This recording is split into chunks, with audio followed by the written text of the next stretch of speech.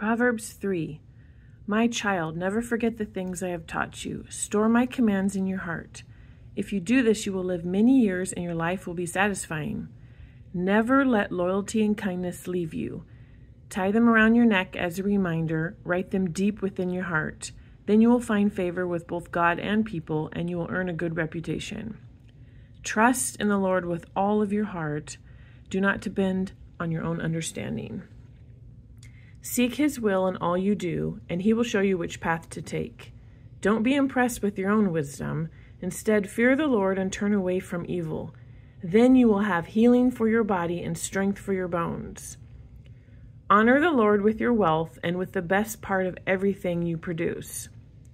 Then he will fill your barns with grain, and your vats will overflow with good wine.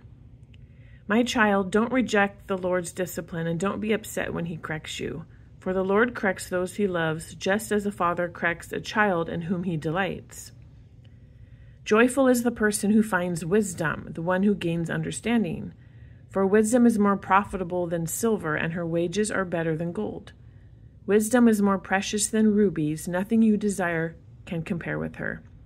She offers you long life in her right hand and riches and honor in her left. She will guide you down delightful paths. All her ways are satisfying.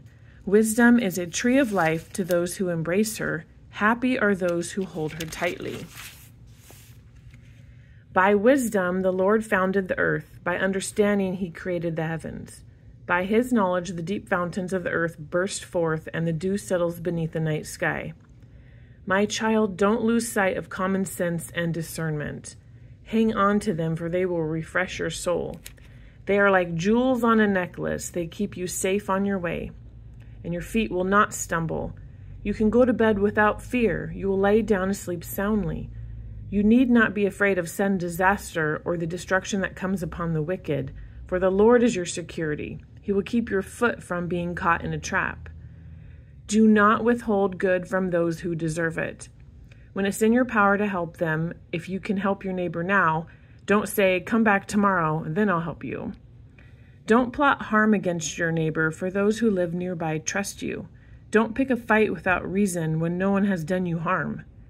Don't envy violent people or copy their ways. Such wicked people are detestable to the Lord, but he offers his friendship to the godly.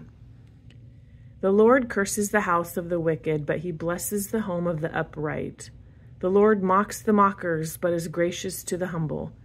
The wise inherit honor, but fools are put to shame.